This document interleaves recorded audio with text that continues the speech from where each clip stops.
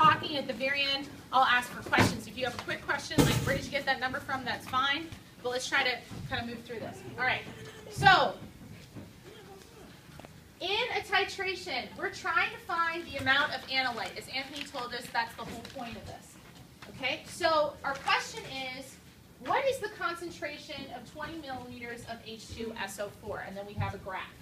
Okay, concentration is the same thing as molarity. Apparently some people were confused on that yesterday. Concentration, molarity, same thing.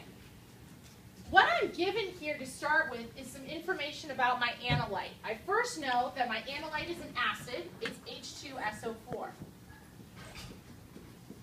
Okay?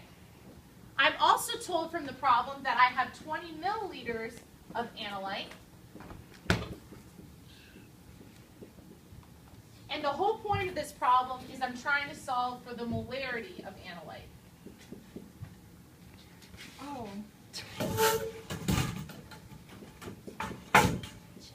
Okay? I didn't even know That is given in the prompt of this question. Okay? First set of givens. Now, when it comes to information about my titrant, that's when I need to look at the graph for information. So there's two things about the titrant I'm going to pull out here.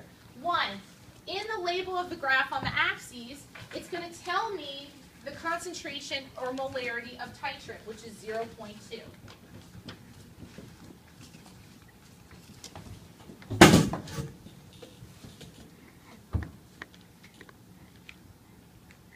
The second piece of information I'm going to get from that graph is the amount of titrant needed to reach the equivalence point. So what I do is the equivalence point is at the steepest part of the curve, usually around a pH of 7. I look at the number of milliliters, and I draw a line down, it's approximately 10. So the equivalent, equivalence point is reached when 10 milliliters of titrant is added.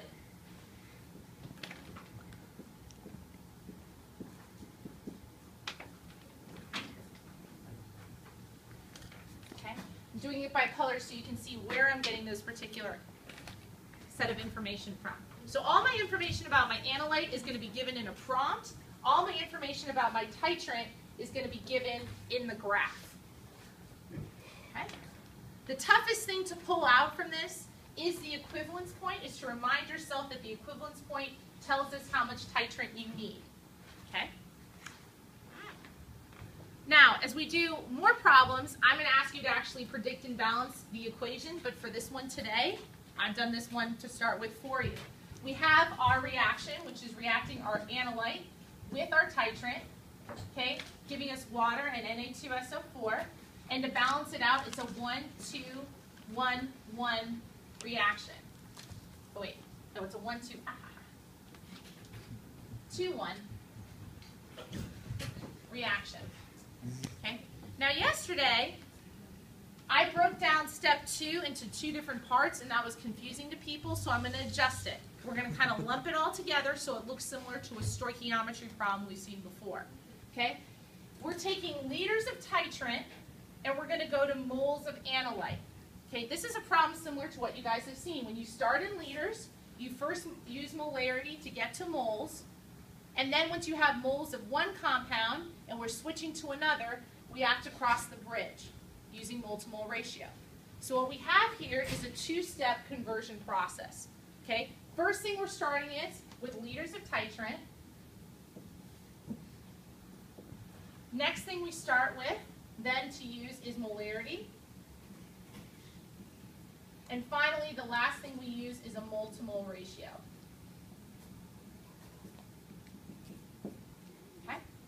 So if I'm looking for liters of titrant, I start with 10 milliliters of NaOH. Okay? I can't use milliliters, so I have to convert that. Divide 10 by 1,000, which gives me 0.010 liters of NaOH. Okay, so I'm going to put that in here as my value, 0.01 liters of NaOH. If I want to go from liters to moles, the next thing I need to use is molarity, which is also given in my problem. Okay, the molarity is 0.2 M, which I know stands for 0.2 moles per liter. So I have moles of NaOH up top, liters of NaOH on the bottom. And since it's 0.2 moles per liter, I'm going to put 0.2 next to moles and one next to before. Okay? So now I have my moles of analyte. If I want to solve for molarity, I know it's moles of analyte over liters of analyte. I take what I just calculated, I plug it in, moles of analyte, over my liters of analyte, which I had in the beginning. So I take that 20 milliliters divided by 1,000, which gives me 0.020 liters.